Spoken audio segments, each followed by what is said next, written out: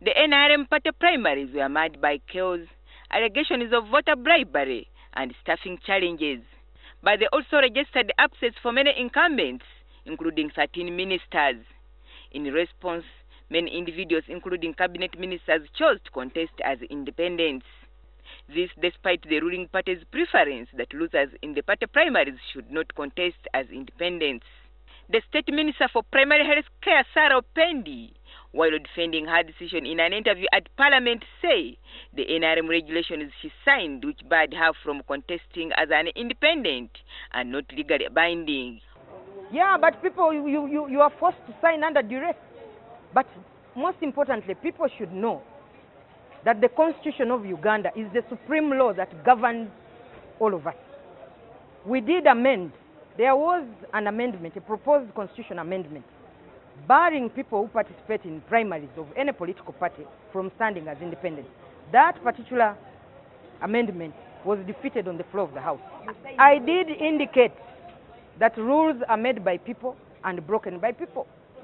So, but what governs us is the Constitution of the Republic of Uganda. And the Constitution of the Republic of Uganda does not bar anybody from standing as independent. And that is why no action has been taken against anybody in the courts of law.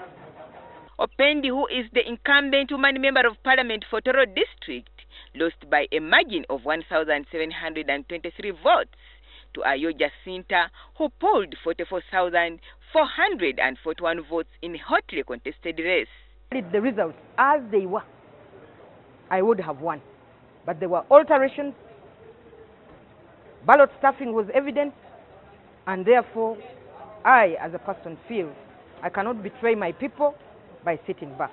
That for us to curb this rigging of elections, let us go the, in the, let us have elections by lining up. You would sort out all this rigging and all that stuff, ballot stuffing and alteration of results. Because once people line up, everybody knows behind the agent of so and so there were 20 people. Behind the other agent there were 30 people. Behind the other one he had 30, 50. So let in the future let us devise ways, move away from using uh, the ballot papers and people line up. That will sort out the problem.